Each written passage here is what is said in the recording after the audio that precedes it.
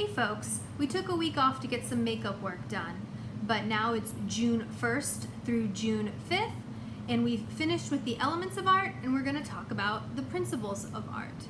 When you consider the differences between elements and principles of art, think of the elements as the main pieces or the main components that make up an artwork, and the principles as the way those components or those pieces are used to make the artwork successful.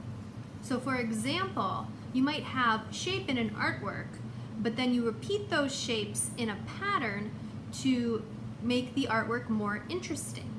And coincidentally, pattern is the principle of art we are going to talk about first. Pattern is defined as an element that repeats in an organized way. Some artists who are famous for using pattern would be pop artist Andy Warhol or M.C. Escher, who we talked about in the last video.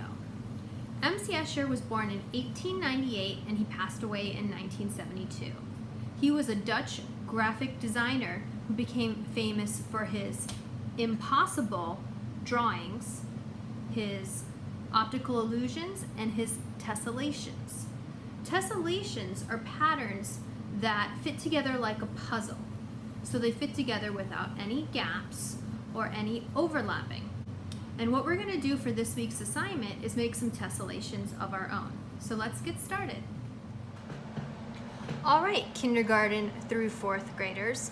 For this tessellation project, all you're going to need is a piece of lined notebook paper, a pencil, and then some markers or crayons or colored pencils to color in your tessellation. Now, this project might seem simple, but it's actually a little bit tricky. So if you're in kindergarten, first grade, maybe even second grade, you might wanna have a parent or a big brother or a big sister help you out with this. So the way we're gonna start is by making a vertical line between two of our lined notebook paper lines. So I'm just gonna draw a line like that. Next, I'm gonna make a horizontal line that follows along the notebook paper line, like that. Then I'm gonna make another vertical line and another horizontal line, stopping to when I get just below my first vertical line. And you're just going to continue that pattern all the way down the paper until you feel like stopping. So vertical, horizontal, vertical, horizontal, vertical, horizontal, vertical, horizontal. Just keep going.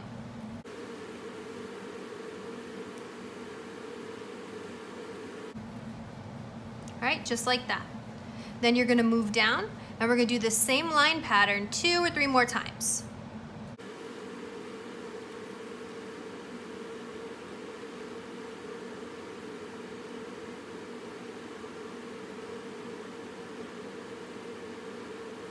Make sure that your vertical lines and your horizontal lines always line up with each other.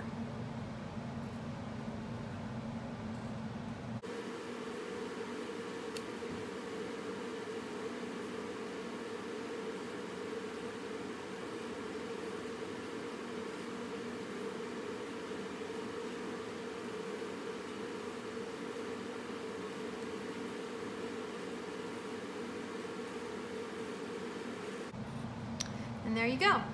Now here's where it gets a little bit more complicated. I'm going to start back at the beginning again with my first vertical line and I'm going to draw a diagonal line from the top of this vertical line to the middle of the next vertical line like that. Then that line is going to go to the middle of the next vertical line like so and to the middle of the next one and to the middle of the next one. And it's just going to continue to do that like a pattern. So what I am creating is arrows that fit together like a puzzle. I'm creating an arrow tessellation.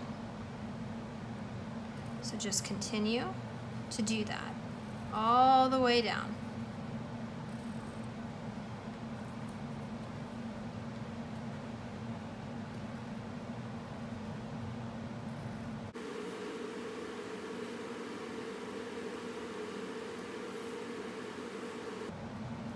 So middle of one vertical line to the middle of another vertical line. Middle to the middle.